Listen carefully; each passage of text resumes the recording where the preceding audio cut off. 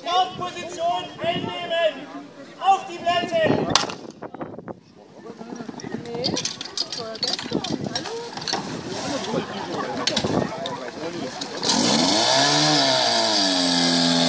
hallo?